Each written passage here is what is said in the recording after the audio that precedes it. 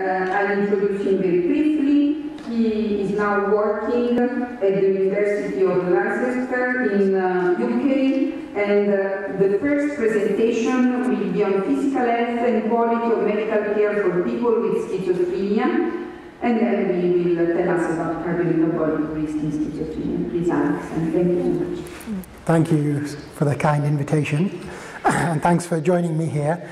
I really want to try and put physical health on the map today, but particularly taking the perspective of psychiatrists and GPs and colleagues in general medicine. Each professional group has its own responsibility, and only by discharging that responsibility properly are we going to make inroads into this very difficult area. A little bit of orientation for you. What I'm going to be talking about in this part of the talk are essentially care inequalities. That is, disparities based on the fact that somebody has a mental ill health condition and essentially no other factor. So, another way of looking at this is does somebody come across less quality or less frequent care in either a medical or psychiatric domain just by virtue of their condition? If that was the case, we would have a pretty serious disparity which we need to correct. And just for heads up, the bit that you're probably really wanting me to get to is this section four, which is how well are we doing our job monitoring the patients as psychiatrists from metabolic components. Section four overlaps between the two talks. Now, a question for the audience here. Given that this talk is a lot really about attitudes and beliefs about whether physical health is a problem, how many people in the audience are regularly monitoring their own patients for physical health concerns. Hands up if you're regularly monitoring patients for physical health concerns. So, the majority. Hands up if you're monitoring patients to your satisfaction, meaning that you're content that their physical health concerns are being recognized and addressed. Are, you, are those that put their hand up there? Are you content that you're doing as good a job as possible? Can I see a show of hands for those that are content with doing as good a job as possible in this area? Just one or two hands.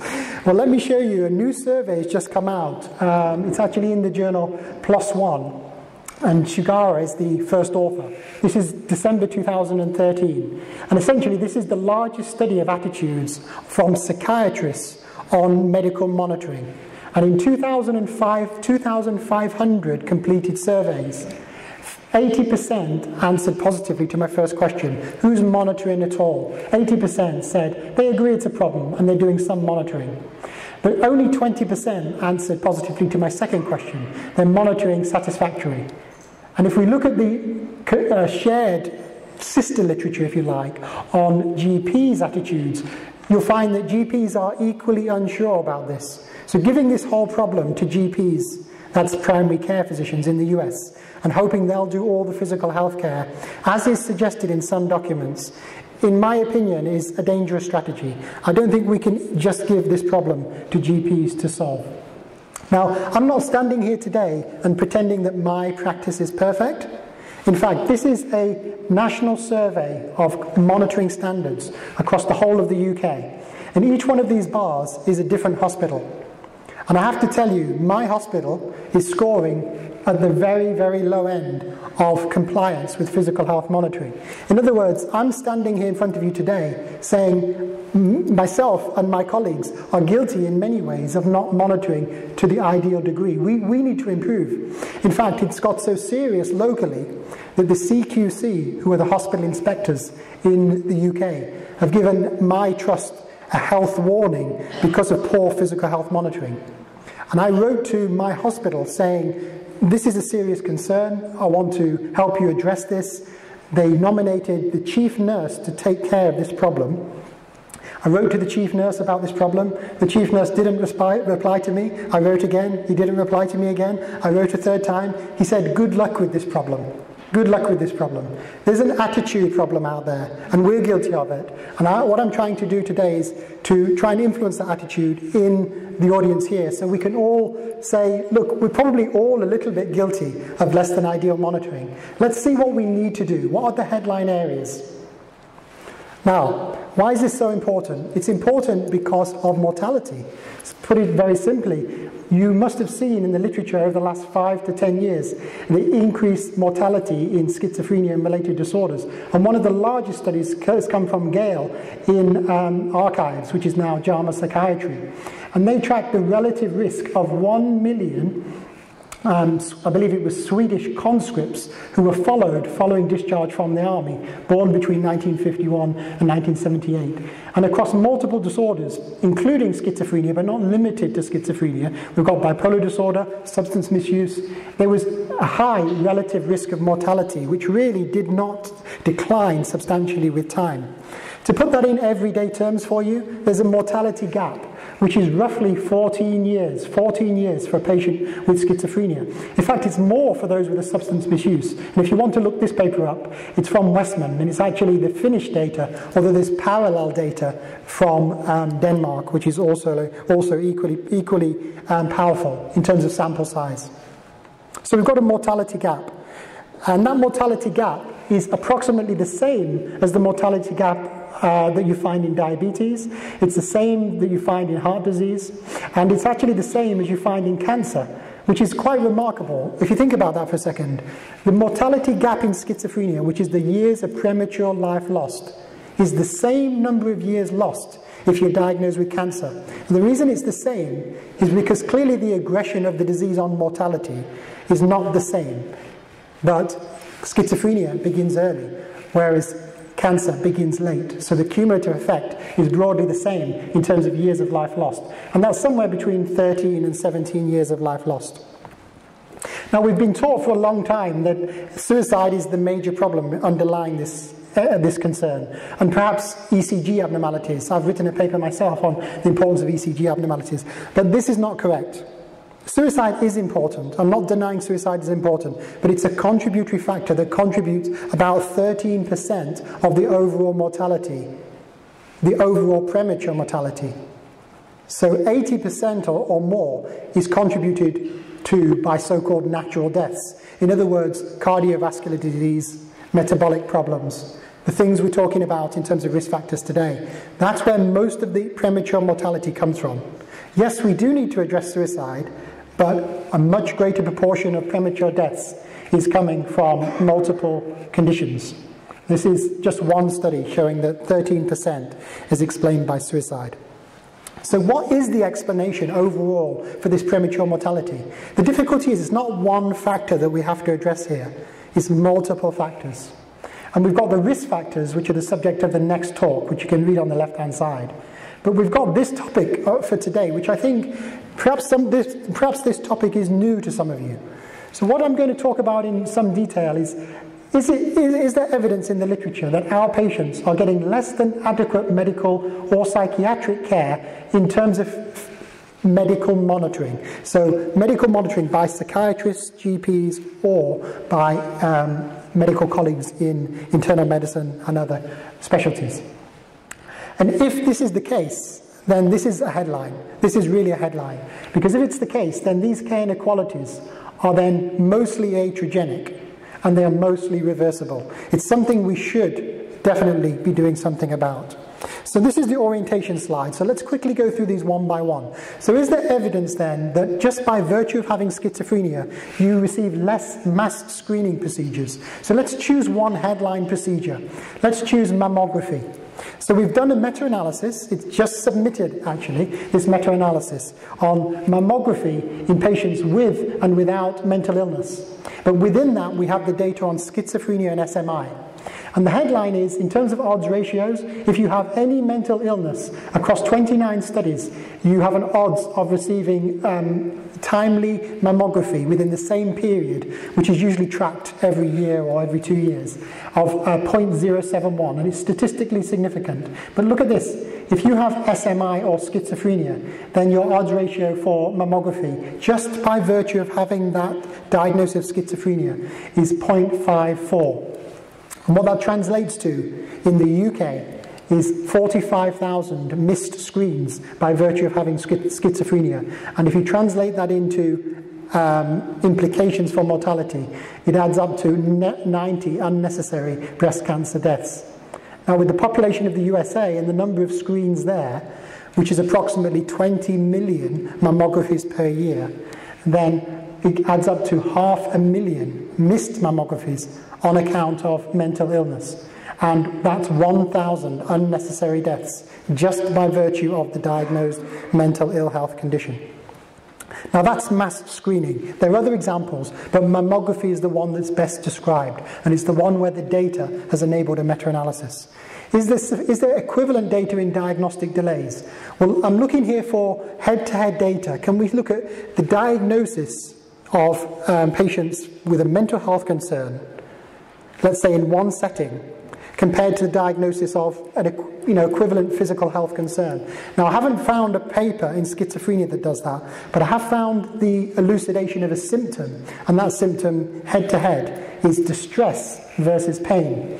And this is a paper by Paul Jacobsen in the Psycho-Oncology Journal, 2011. Each one of these bars is a Florida cancer center, and the total number of patients studied is 1,600. And what you find, if you, I'll give you the headline message.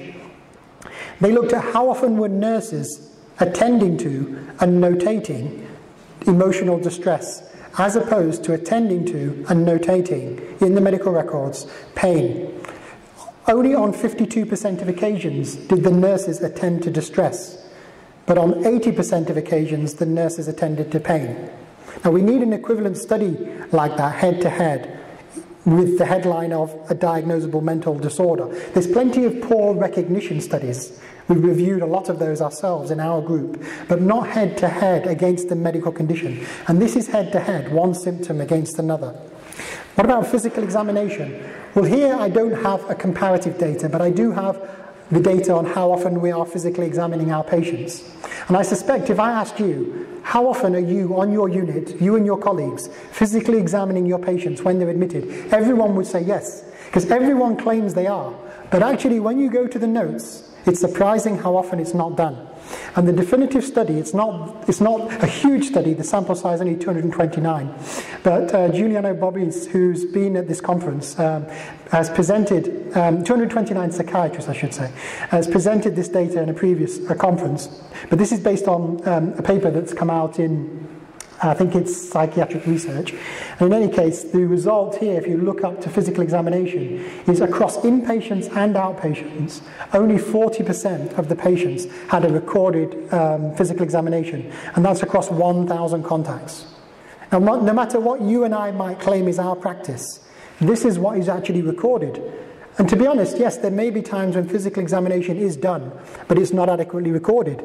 But we need then to improve our recording. And there are other concerns on this chart. For example, how often do we allow our patients to have a dental checkup whilst they're under our care?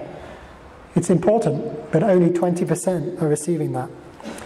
Okay, let's come on to what are psychiatrists doing? What are psychiatrists doing regarding monitoring? In fact, I started off saying, is this the area which we can give to GPs, GP colleagues? So why don't I just quickly go over the GP data? Well, the definitive study on medical risk factor, cardiometabolic risk monitoring, has been done in the UK by Osborne. That's David Osborne, and he's conducted a study based on the THIN network primary care database, and it's 100,000 people, including 20,000 with SMI, so a very, very large study. And the data, it's going to be very difficult for you to see this at the back, but essentially, if you look at almost any parameter, BMI, um, this is just the BMI data divided by age, but lipids, hypertension, the rates of monitoring in primary care are very, very low prior to this being incentivized in the UK QOF system. So just to explain, in the UK we have a financial incentive for GPs to reach their targets. And that is um, a target, four of those targets are notated here, and I'll show you on the next slide. So, sorry, five of those targets. So, five of those targets are BMI, um, blood pressure, cholesterol, glucose, and a combination. A combination, you can add, add them all up, full monitoring. So, Sheila Hardy, who's a nurse specialist in Northampton, sent me this initial data based on GP monitoring of patients with SMI head to head with diabetes using the same markers in the same period of time in the same practices. Now, you could say, well, why is it even fair to compare um, schizophrenia with diabetes. Well, the mortality gap in, between um, years of life lost is approximately the same in schizophrenia as it is from diabetes. Most deaths in schizophrenia are not from suicide, just as the same. Most deaths in diabetes, they're not due to diabetes, they're actually due to cardiovascular risk, usually myocardial infarction or stroke. There's a lot of similarities. I won't go through that slide in great detail for sake of time. But in my view, it is a fair comparison to ask, are we monitoring equivalently? So based on that signal, which perhaps wasn't the largest study in the world, there were only 386 with SMI in that group, we expanded this to look at the national data. Now the national data in the UK was only available following the incentivization of these markers. So the QOF financial target had come in. So you have to expect if you're going to give the GPs a financial target to monitor these things, it's going to be done pretty much as well as it could be done in any setting. So the result is all of these markers went up in recent years because of that financial incentive. But put the financial incentive to one side for a second. The question really is, is there still an inequality? Is there still an inequality in the measuring? And sure enough, it's the same inequality that we found before the QOF target. And across the board, and now the sample size is really huge. This is everyone seen in primary care for the whole year, 2012, for the whole of the UK. 8 million people. Across 8 million people, 75% with SMI had um, cardiometabolic checks in each of these areas. That's uh, either HbA1c, blood pressure, cholesterol, and BMI. And you can see the individual results are there. Compared to 97% for diabetes, who equivalently met that target. There is, a, there is a definite and large disparity between those. Now, the first criticism I hear when I present this data is okay, yeah, we, we accept there's a difference, but obviously the patients with schizophrenia are not turning up. That's the reason. It's not that they're not being offered. We've already removed non attendance from this data. If you keep non attendance in, yes, the disparity is even greater. But this is having removed non attendance. These are attending patients. What monitoring did they receive? So the answer isn't actually wholly in non attendance. Now we come on to the psychiatrists. So we reviewed this in a meta analysis which was published in Psychological Medicine about a year ago. And what that showed is that we're not very good at monitoring these cardiometabolic risk factors. The things that we monitor more frequently are the very, very simple things that don't involve a blood test. Essentially, weight or waist and possibly blood pressure. Those two are the only things that creep above 50% monitoring in psychiatric routine practice. If you look at lipid monitoring, um, it was 20% in the early 2000s, and in the last five years it's gone up to, at the most, 40%. So we are, we are not good at monitoring. But there is a trend, there is a trend which is upwards, and that is because this area of cardiometabolic risk has become more and more of a headline of late. So there is a trend, and the, and the tipping point is said to be 2004, which is the ADA stroke APA guidelines. But other countries have had equivalent guidelines, and that has caused an increase. Now, a key factor here is not necessarily whether something's detected, it's actually what are we doing about it? Are we doing anything about it when we find the problem? And this is a national UK audit of schizophrenia monitoring habits, which has recently been concluded in the UK. And all I want to bring your attention to are the red lines. Now, the red lines say if the problem is detected in that area, did somebody attend to the problem? So, this is not a detection issue, it's a treatment issue. And you can see if BMI is known to, found to be high in psychiatric practice, only in 70% of cases do we try to do anything about it. And believe me, this data is try to do something about it. It isn't the patient's problem resolved, it's did somebody try to do something. And at this end of the scale, if you have a lipid problem that's detected in psychiatric care, only on 20% of occasions do we try to do something about it. For example, refer to one of our colleagues in endocrinology. Uh, if you have a hypertension, then 25% you can read.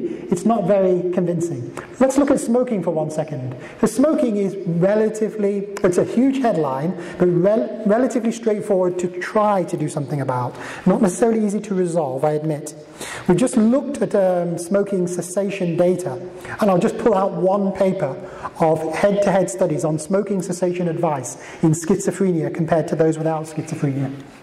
And this one paper by Duffy actually shows that patients with schizophrenia were 0.69 as likely to receive smoking cessation advice on quitting as those without schizophrenia. Now, surely our patients with the high risk of smoking should be receiving at least equal or maybe superior levels of advice on smoking in other areas. But here we find that they're receiving less adequate advice.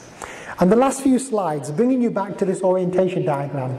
So we've done all these four areas, we've done monitoring now. Why, why have I put prescribed drugs here? Well, it may surprise you that if you suffer a myocardial infarction, or indeed if you have any cardiovascular problem and you have schizophrenia, your chances of, of receiving an appropriate cardiovascular medication are significantly less than if you don't have schizophrenia. And this, by significantly less, the odds ratio is 0.79. If you want to look up the confidence intervals in more detail, that paper is in the British Journal of Psychiatry from 2012. So that is about prescriptions.